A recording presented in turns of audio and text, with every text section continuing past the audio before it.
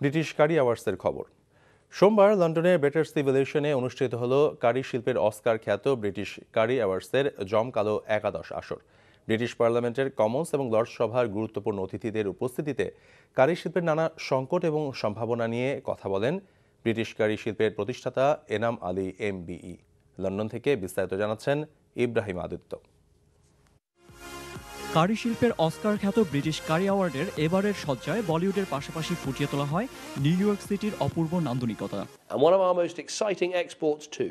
প্রায় দুশো বছর আগে ওয়েস্টমিনস্টারের সাদামাটা এক হিন্দুস্তানি কফি হাউসের মধ্য দিয়ে ইন্ডিয়ান কারি শিল্পের এদেশে পথ চলার ইতিহাস মনে করিয়ে দিয়ে ব্রিটেনের অর্থনীতিতে বার্ষিক প্রায় সাড়ে চার বিলিয়ন পাউন্ড যোগান দেয়া এই শিল্পের উত্তরোত্তর সাফল্য কামনা করেন প্রধানমন্ত্রী ডেভিড ক্যামেরন তবে বাংলাদেশ ও ইন্ডিয়ার ঐতিহ্য বহন করা এই শিল্পের বিকাশে বিদ্যমান সংকটগুলো সমাধানে কারি শিল্পের সাথে সংশ্লিষ্টদের ঐক্যবদ্ধ হওয়ার আহ্বান জানালেন ব্রিটিশ কারি অ্যাওয়ার্ডের প্রতিষ্ঠাতা এনাম আলী এমবি।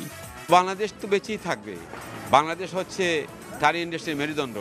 যতদিন বাংলাদেশে এই দেশে কারি বিক্রি হবে বাংলাদেশ বেঁচে থাকবে আজকের British curry award was fantastic as always every year it gets better আরও ভালো হয় বৈচিত্র্যময় কালচারাল পারফরম্যান্স ও বিশিষ্টজনদের বক্তৃতা পর্ব শেষে কারি শিল্পের অনন্য অবদান রাখায় বিজয়ীদের হাতে বারোটি ক্যাটাগরিতে তুলে দেওয়া হয় প্রেস ও সম্মাননা But we didn't expect to win it at all, so we're all feeling very, very happy and quite proud. Fantastic to win, very happy to win. Hopefully we win it again next year and the following year and the following year. কারি শিল্পের সমস্যাগুলো সমস্যাগুলোর আশু সমাধানে NTV সহ British Bangladeshi গণমাধ্যমগুলোও তাদের অবস্থান থেকে সহায়তার হাত বাড়িয়েছে সামাজিক দায়বদ্ধতা থেকে, বললেন NTV director Mostafa Sarwar.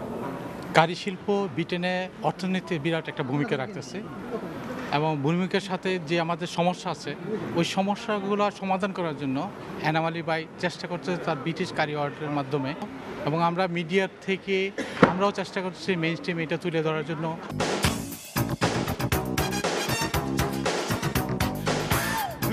আগে ছোট একটি কফি শপ প্রতিষ্ঠার মধ্য দিয়ে ওয়েস্টমিনস্টারে যাত্রা শুরু করে ইন্ডিয়ান কারি শিল্প। দুশো বছর পর এসে বাংলাদেশ ও ইন্ডিয়ার এই ঐতিহ্য জায়গা করে নিয়েছে ব্রিটিশদের প্রধান খাদ্যাভ্যাসে। তবে গুরুত্বপূর্ণ এই শিল্পের বিদ্যমান সংকট মোকাবেলায় সরকার গৃহীত পদক্ষেপগুলো পর্যাপ্ত নয় বলে অভিযোগ ব্রিটিশ কারি অ্যাওয়ার্ডের প্রতিষ্ঠাতা এনামালির সংশ্লিষ্টদের এইসব সমস্যা মোকাবেলায় এগিয়ে আসার আহ্বান জানান তিনি। Ibrahim Aditya, NTV news, London.